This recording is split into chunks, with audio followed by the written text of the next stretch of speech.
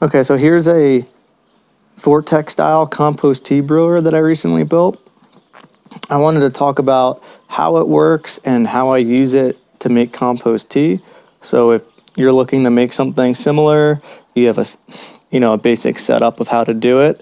I'm not going to do a how-to video, but what I will do is not in this video, in a different one, I'll go over each part so you can see it and I'll also have a list of all the parts in the description. So if you want to recreate it, you can go ahead and do so. This with a 40 gallon brute tote garbage can. Um, I got my idea from who I don't know is Vortex Mike, I think he called himself.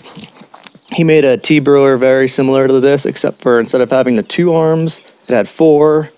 I made one with the four and I didn't really like it. It was sort of too complicated and I did it with two arms and it works much better in my opinion. Can in the bottom I have a drain hole so the water is going to fall through that hole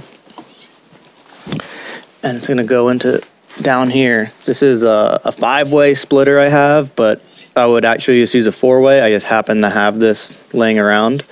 So the water drains down here, fills up these arms and I have an Eco Air 5 commercial air pump. So what happens is the water drains into here and the pump blows air into the PVC here at this T and we're leveraging air. The air bubbles are gonna lift up the water and redistribute it on top. I'm gonna fill this up and run it and show you guys exactly what's going on. And the same thing happens on the other side. So we're getting air lift up and it's being drained from the center. And this action ends up creating a really strong vortex. Um, right here, I have, this is my drain spout. So it's closed. You can connect your hose or whatever you need to drain it.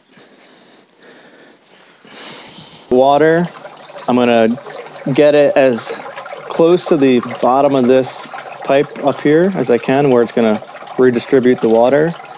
Um, yeah, so I'm gonna run this and show you how the vortex forms. And then I'm also gonna show you how I make the tea and add it into here. Worm tea concentrate. Castings that I recently sifted out of my worm bin.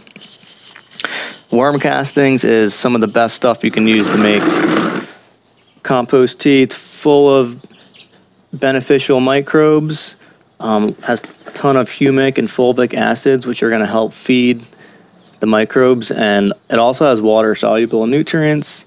Um, what I'm really after is the microbes, not the nutrients. So I'll take a couple scoops of this and add it, and this is about a gallon or two of water.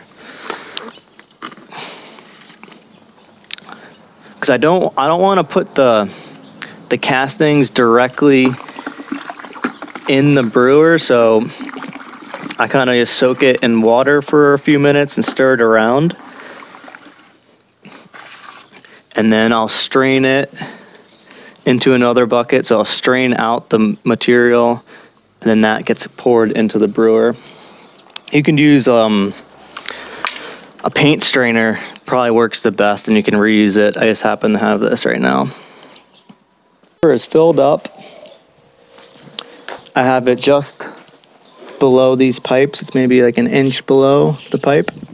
So let's go ahead and plug it in and you can see the vortex form.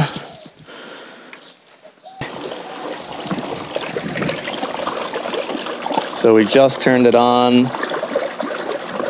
You can see the water's bubbling up from these two arms. When I first made this, I only, I had the elbows, just these two elbows, and I ended up adding these extensions because here the water was just getting tossed right here, kind of going at the edge.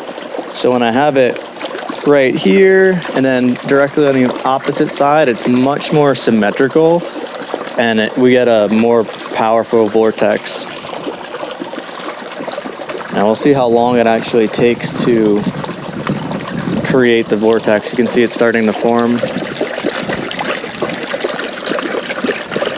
There it is. Sorry, the sun just came on the other side of the house, so it's harder to see right now.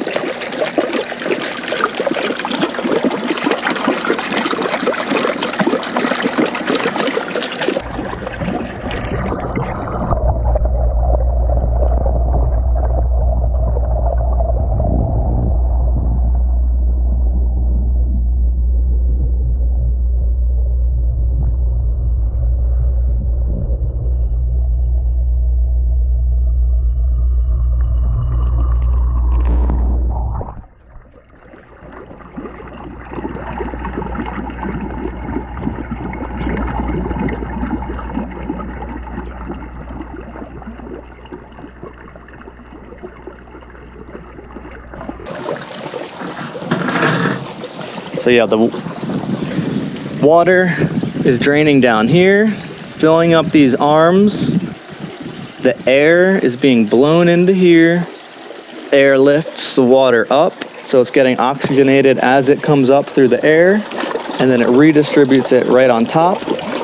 Aeration just through the pump, but also the vortex creates like a vacuum and it's actually pulling air into it. So it's probably, we're probably getting a little extra um, aeration from the vortex itself. Um, but the reason why I chose to make a vortex brewer instead of just a traditional brewer that bubbles is because I believe um, the spinning of the water, what we're what's happening is we're energizing, we're adding energy to the system. And when water is moving, especially in a, a spiral motion, it creates um, structured water or living water. Um, this is kind of on the fringe of science. Water is a weird subject. Tea, all, all I have to do now is add my concentrate that I made here. I'm just gonna go ahead and pour that into the brewer, and that's how I add my biology. I don't put the worm castings and my compost directly in the brewer because I don't want the the particles to clog anything up and mess up the vortex. So that's just a liquid concentrate that's has the microbes in it. And yeah, that's that's about it. Hours. Um, I'm hoping to get a microscope soon and actually start checking out the microbes and kind of coming up with more recipes of how I make my tea. But for now, I just kind of do it. Just brew the worm tea in there, and whatever I get is what I get. I'm not studying it quite yet. Um, but yeah, if you like this design, I'm gonna have another video where I'll go over each part and I'll list all the parts in the description. So if you wanna build it yourself, you can go ahead and do so.